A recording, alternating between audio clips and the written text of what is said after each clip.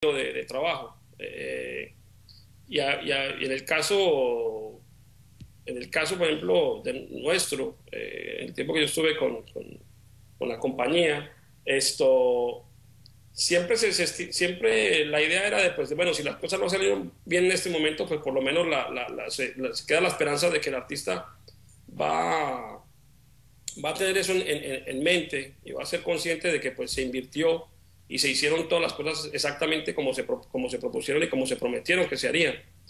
Esto, y, y, y, siempre la esperanza era obviamente de que, pues, que el artista iba a respetar eso, iba a tomar eso en consideración para cuando volviera y, estuviera en una mejor posición, esto siempre tomar en cuenta el, la, la, atención o, o, la, o, lo que se hizo, ¿no? De que siempre se le cumplió al, al pie de la letra esto de lo que se le prometió de que se le iba a, proveer, ¿no? Sí. Em, bueno, actualmente estás en otro rubro que es eh, eh, agente, bueno, un poco, eh, sí, de agente, o sea, estás, estás manejando artistas también para salir de giras. Recientemente, bueno, estuviste con Ricardo, Arjona y más recientemente con Cristian Castro. Es un poco como estar al otro lado de, de la barrera, un poco del el estar, digamos, ya viajando del lado del artista y de pronto negociando con promotores lo que tú, había, lo que tú hacías en el, en el pasado?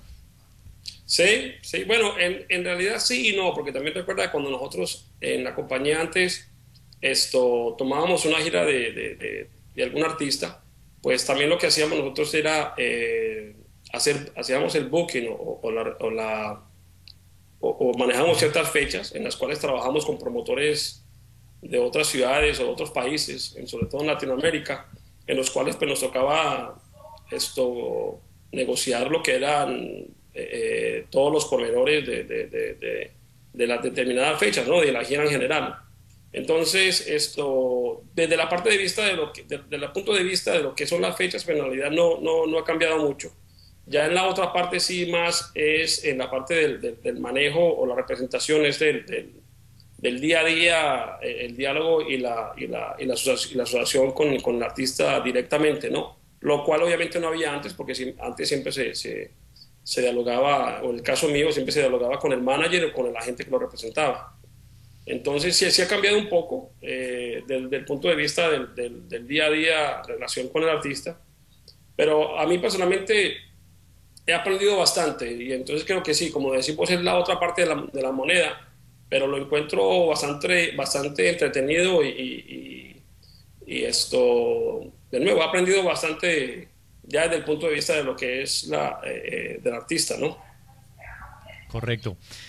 Ahora, em, los códigos y las, digamos, las, las reglas del juego un poco siguen siendo iguales, eh, bueno, por un lado del pasado para, para acá, o, eso también ha cambiado cómo se manejan, qué sé yo, los, los depósitos y si alguien está interesado pues tiene que mandar eh, cierta determinada cantidad de dinero y todo eso. Sigue sigue manejándose de la misma forma sí definitivamente. Yo creo que eso no ha cambiado y estoy más y, y más sobre todo ahora de que pues esto con la situación económica etcétera pues con más razón se, se, maneja de esa manera no a nivel de depósitos y a nivel de ya no están antes aunque creo que antes antes también tenía es más, yo creo que ahora se, se enfatiza más ese punto, Quique, porque por, por la situación, eh, que antes, porque antes también había cierta confianza cuando se trabajaba con ciertos promotores que pues algunos artistas los, conocían por muchos años, ¿no? Por ejemplo, en el caso nuestro con, con Carlos Vives, esto, la, la, no había contrato, o sea, era un, una, una relación se chocaban las manos y decían, vamos, eso es lo que vamos a hacer y, punto, ¿no? Ya, ya son los términos. Eh, y así, así con, y también se hacía con otros artistas, pero, pero sí, sí creo que ha cambiado un poco en el sentido de que ya la, esa, esa confianza, pues, aunque existe, pero sí la, a nivel de, para asegurarse de que todo vaya bien, sí se, se, se lleva contratos, depósitos, etcétera. ¿Y lo que es la eh, con Latinoamérica y Estados Unidos, hay como diferencias o más o menos es estándar la, manera en que se trabaja? No, no, sí, sí, sí, hay diferencias, definitivamente. Esto, sobre todo porque pues cuando uno sale, sale fuera de Estados Unidos, eh, no tiene la seguridad que, tiene acá, primero que todo.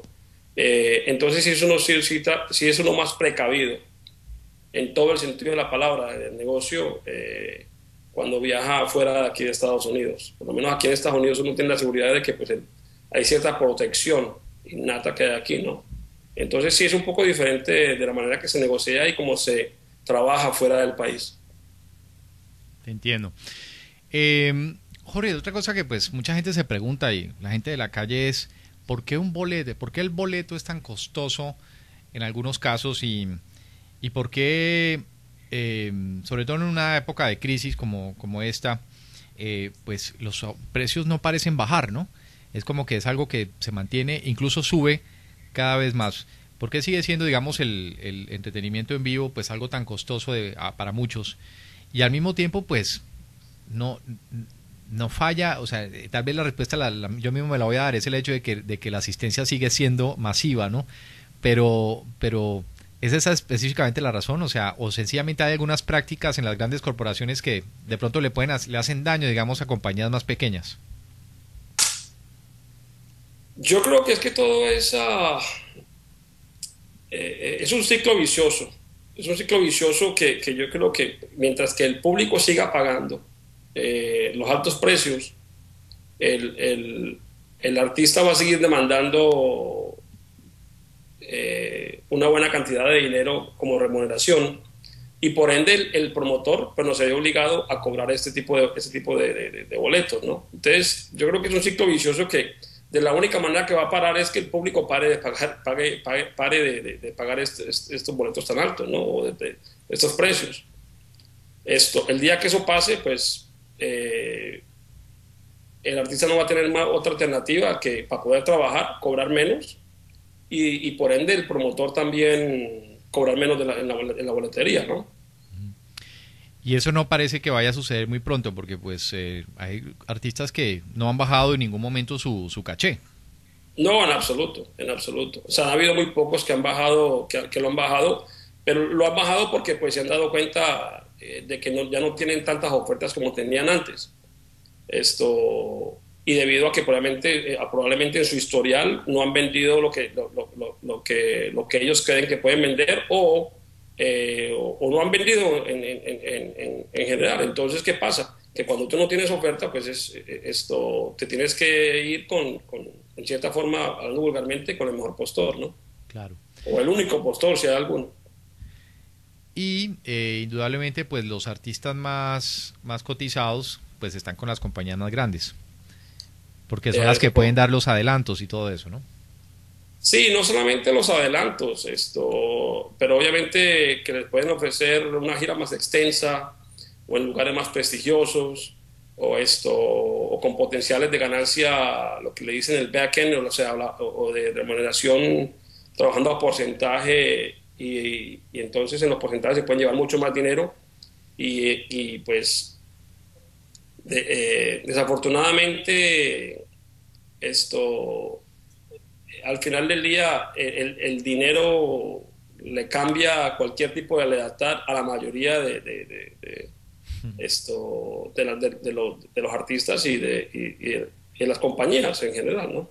Sí. Entonces, eh, eso lo, es más, hoy, hoy, hoy, particularmente estaba hablando con un amigo mío, promotor de, Phoenix, Arizona, que lleva, lleva trabajando en el mercado hace como 20 años y ha hecho todo tipo de eventos con todo tipo de artistas. Y me comentaba de que pues estas compañías grandes prácticamente lo están sacando del negocio porque pues le están ofreciendo a los artistas el cielo de las estrellas esto con unas cantidades exorbitantes de, garantías, lo cual pues esto le está haciendo muy difícil a los promotores eh, locales y o pequeños eh, continuar en el negocio. Y entonces también dos otras alternativas de que, qué otras cosas se pueden hacer para, para mantenerse vigentes, ¿no? Claro. Ahora, hay eh, la, típica historia, ¿no? Del que el, pez grande se come al pez chico. Y, y así como en los discos eh, pues sí, en las tiendas de, o sea, casi todo, pues los retailers pequeños, pues siempre los que eran de barrio, pues tenían que salir del negocio, pues un poco pasa con los promotores de locales, que, que son los que pues han atendido determinado